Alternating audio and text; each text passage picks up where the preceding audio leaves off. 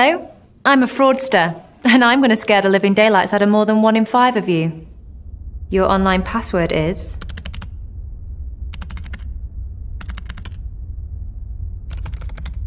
Adding numbers, capitals, and symbols makes your password stronger.